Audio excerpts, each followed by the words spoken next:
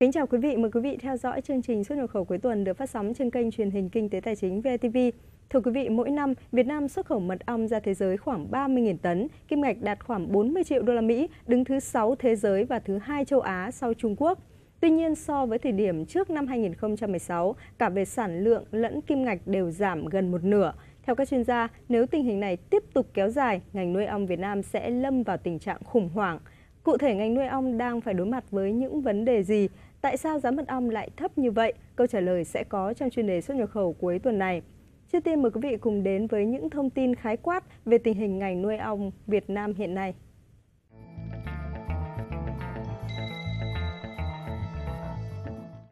Năm 2000, tổng lượng đàn ong của Việt Nam khoảng 400.000, sản lượng đạt trên dưới 8.000 tấn và xuất khẩu khoảng 6.000 tấn. Sản lượng mật ong và lượng mật xuất khẩu tăng dần qua các năm và tăng đột biến vào năm 2002. Từ 600 lên 1 triệu 850 nghìn đàn. Sản lượng từ 8.000 tấn năm 2000 lên 17.000. Xuất khẩu từ 6.000 tấn lên 14.500 tấn. Đến năm 2014, ước tính nước ta có khoảng 1,5 triệu đàn ong, thu 60.000 tấn mật, xuất khẩu 53.000 tấn. Trong 1,5 triệu đàn ong, có 1,15 triệu đàn ông ngoại chiếm 76,67% và 350.000 đàn ông nội chiếm 23,33%. Số người nuôi ong khoảng 34.000 người. Trong đó, số người nuôi ong chuyên nghiệp khoảng 6.350 người, chiếm 18,67%. Khoảng 90% sản lượng mật được xuất khẩu, 10% còn lại được tiêu thụ ở thị trường nội địa. Mật xuất khẩu chủ yếu là mật thu từ ong ngoại, trong khi mật ong thu được từ ong nội chủ yếu được tiêu thụ ở thị trường nội địa. Tuy nhiên, từ cuối năm 2017, giá mật bắt đầu sụt giảm, cả về sản lượng lẫn kim ngạch xuất khẩu của ngành này đều giảm. Xuất khẩu chỉ đạt con số 30.000 tấn một năm, kim ngạch đạt khoảng kim ngạch đạt khoảng 40 triệu đô la Mỹ. Giá mật thời điểm cao nhất đạt khoảng 4 đô la Mỹ một giờ, đã giảm khoảng 30%. Chính điều này khiến người nuôi ong và doanh nghiệp xuất khẩu đều gặp khó. Thưa quý vị, theo thống kê của Bộ Nông nghiệp và Phát triển Nông thôn, trong 3 năm gần đây, do nhiều nguyên nhân cả khách quan và chủ quan, xuất khẩu mật ong của Việt Nam đã giảm đáng kể cả về sản lượng và kim ngạch, gặp khó khăn không nhỏ tới đời sống của người nuôi ong và các doanh nghiệp xuất khẩu. Phóng sự dưới đây sẽ giúp quý vị hiểu rõ hơn về vấn đề này.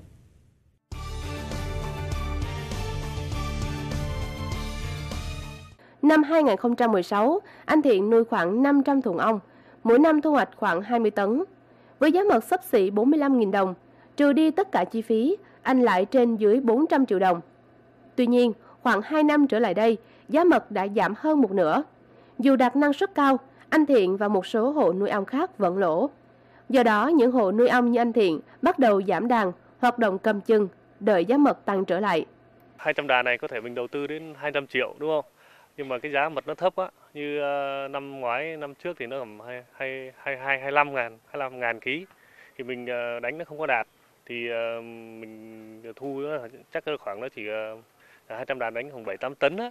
Thì mình chỉ được khoảng trăm mấy chục triệu thôi. Mình sẽ lỗ mất mấy chục triệu. Nên nhiều khi làm rất là khó khăn. Với trường hợp của chị Hằng, gia đình chị có hơn chục năm theo nghề nuôi ong nên có nhiều kinh nghiệm, năng suất luôn đạt ở mức cao. Hiện tại chị đang nuôi khoảng 500 thùng ong, giảm gần một nửa so với năm 2016.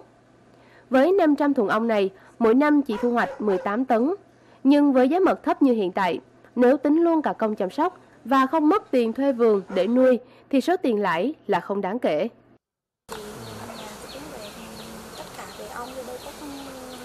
rẫy nương gì khác ngoài ong đâu nghĩa là vô cái cảnh là không còn cái gì làm hết mình vẫn như ong dạ. dù dù lỗ mình vẫn theo nghề đúng không chị nhỉ lỗ thì không bị lỗ thuê nhà thì không bị lỗ à.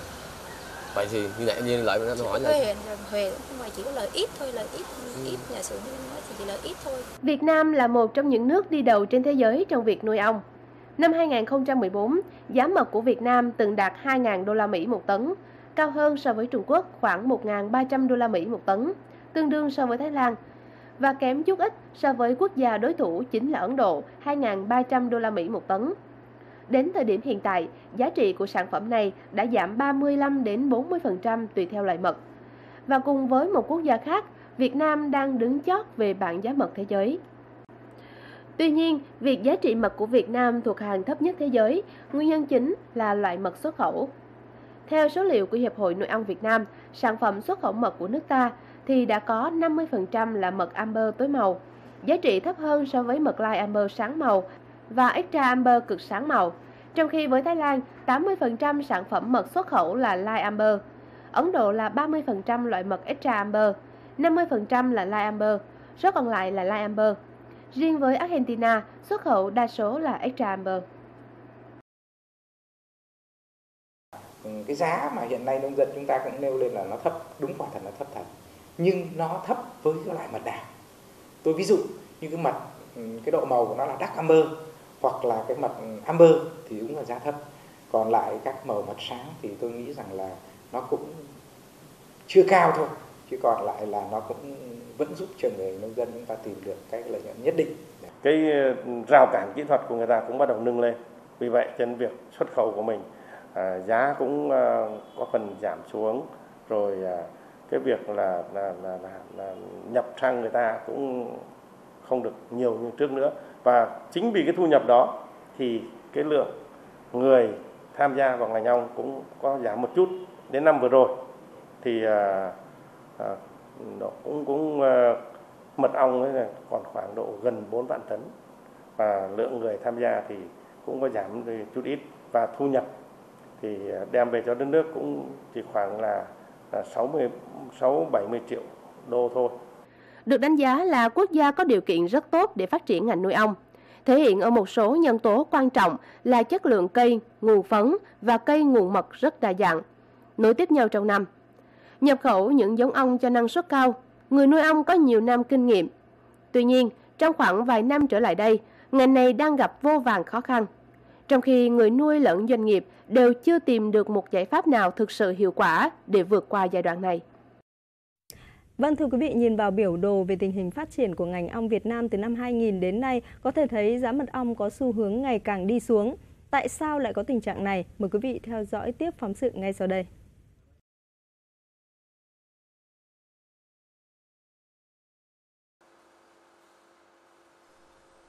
Thời điểm năm 2012, một lượng lớn mật ong của Trung Quốc đưa vào Việt Nam và xuất khẩu sang các thị trường Mỹ, EU, Nhật Bản gắn mác mật ong Việt Nam. Số lượng mật này chất lượng kém, được sản xuất bán ở phân khúc thấp, do đó mật ong Việt Nam bị ảnh hưởng về uy tín, chất lượng. Bên cạnh đó, hiện tại đa số mật xuất khẩu của doanh nghiệp Việt Nam là mật keo, thành phần gần giống mật làm giả của Trung Quốc, khó phân biệt nếu không kiểm nghiệm chi tiết. Đây là điều khiến nhiều doanh nghiệp ở Việt Nam đau đầu cái mật keo của mình nó nhanh xuống màu thì mình sẽ không có cái thời gian để mình đợi được lâu.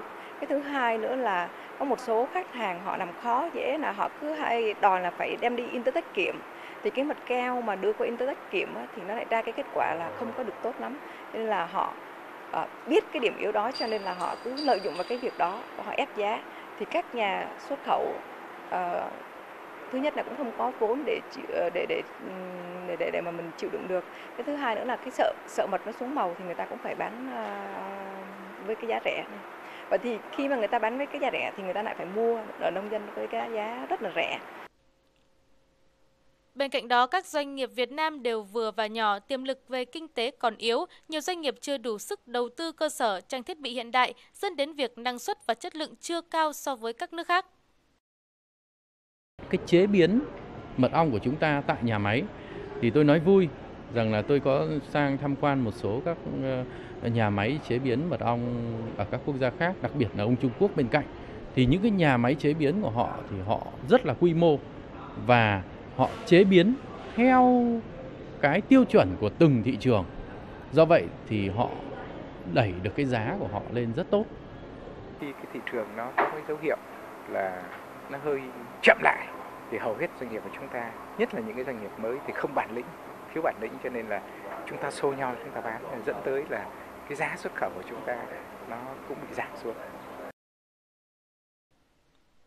theo các chuyên gia, hiện nay sự liên kết giữa các hộ nuôi ong và doanh nghiệp thu mua còn lỏng lẻo. Người nuôi không được doanh nghiệp bao tiêu sản phẩm, đến mùa thu hoạch sẽ chọn lựa nơi nào giá cao để bán, từ đó dẫn đến việc nhiều doanh nghiệp cạnh tranh không lành mạnh. Cách thức sản xuất còn nhiều bất cập như khoảng cách các trại nuôi đặt quá dày dẫn đến tình trạng khai thác thiếu bền vững, gây ảnh hưởng đến năng suất, chất lượng và hiệu quả kinh tế nghề nuôi ong, sản xuất manh mún, nhỏ lẻ, dẫn đến năng suất và chất lượng sản phẩm chưa ổn định, tính cạnh tranh chưa cao. Thưa quý vị, với hàng loạt vấn đề bất cập đã nêu thì phải trong một thời gian dài nữa thì ngành nuôi ong mới quay lại thời kỳ ổn định và trong khoảng thời gian chờ đợi đó thì người nuôi ong và nhất là doanh nghiệp còn phải đối mặt với muôn vàn khó khăn trong xuất khẩu.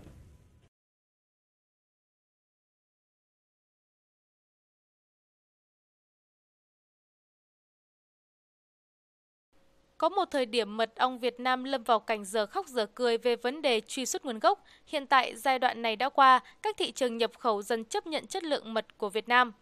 Tuy vậy, doanh nghiệp chưa tận dụng được điều này để đẩy mạnh thương hiệu, dẫn đến việc nhiều thị trường vẫn chưa biết đến sản phẩm ong mật của Việt Nam. Hơn 90% sản lượng xuất khẩu mật ong của Việt Nam tập trung vào thị trường Mỹ đã nói lên điều đó. Cái mật ong của Việt Nam không đẩy được mạnh cái PR của mình trong cái thị trường truyền thống là Mỹ và cái thị trường mới mở cửa từ năm 2014 15 đến nay là ừ, thị trường EU chúng ta vẫn chưa có được cái cái cái tiếng nói mặc dù là sản lượng của Việt Nam là xếp thứ 5, xếp thứ 6 trên thế giới nhưng chúng ta vẫn chưa thực sự phản ánh đúng cái cái nội lực của chúng ta cũng như là những cái tiềm năng của chúng ta. Vấn đề lớn nhất hiện tại là chứng minh chất lượng sản phẩm với những thị trường khó tính như EU, Nhật Bản để sản phẩm nhập khẩu được chấp nhận phải vượt qua được các rào cản kỹ thuật rất nghiêm ngặt. Để vào được các thị trường này, mật Việt Nam phải được một cơ quan độc lập kiểm nghiệm. Cụ thể ở đây là các đơn vị như Interter, QSA của Đức. Việc kiểm nghiệm kéo dài thêm thời gian nếu tính từ lúc thu hoạch đến lúc hàng đến được cảng của các nước nhập khẩu mất gần một tháng. Trong thời gian đó, chất lượng mật đã phần nào giảm sút. Khi mà nhập nguyên liệu về thì mật ờ, mình đưa nguyên liệu đến cái phòng lab ở Việt Nam mình để kiểm tra để mình biết được rằng mật ong của mình chất lượng và mình yên tâm mình sản xuất. Nhưng mà mình đưa cái kết quả đó cho khách hàng thì người ta không có ờ, ừ, ừ, ừ, người ta vẫn phải cho một cái bên thứ ba nữa đến để kiểm tra cái à, niêm phong lấy mẫu lại và người ta đưa đi Intertech kiểm là ờ, là là, là chủ yếu. Chuyên gia khi đã tham gia vào thị trường xuất khẩu thì vấn đề về rào cản kỹ thuật đòi hỏi doanh nghiệp phải luôn cập nhật, buộc các doanh nghiệp phải thích ứng. Các doanh nghiệp phải thích ứng với cái, cái, cái trong bối cảnh hiện nay. Thứ nhất là về mặt chất lượng thì chúng ta cũng luôn luôn là phải cập nhật, đã phải cập nhật và chủ động có ờ, những cái giải pháp đặc biệt về cái quy trình kỹ thuật là chúng ta phải luôn luôn cập nhật và đổi mới bởi vì như bạn biết đấy là các doanh nghiệp ờ, các cái nhà nhập khẩu của các nước thì người ta cũng muốn là nhập nhiều mặt để người ta cung, cung cấp cho người tiêu dùng ở trong nước. Theo ông Hoàng, doanh nghiệp và người nuôi cần phải liên kết chặt chẽ với nhau. Theo đó, doanh nghiệp cần phải mạnh dạn hỗ trợ cho người nuôi và tích cực tham gia các hoạt động khuyến thương, từ đó tiếp cận và mở rộng thị trường xuất khẩu, không quá phụ thuộc vào những thị trường truyền thống. Qua những nội dung mà chúng tôi vừa truyền tải, có thể thấy ngành mật ong đang gặp phải những thách thức vô cùng lớn. Những giải pháp nào để phát triển bền vững ngành nghề tiềm năng này? Câu trả lời sẽ có trong chuyên đề xuất nhập khẩu cuối tuần sau. Mời quý vị chú ý đón xem. Chương trình xuất nhập khẩu cuối tuần này cũng xin được khép lại tại đây. Chân thành cảm ơn sự quan tâm theo dõi của quý vị. Xin kính chào và hẹn gặp lại.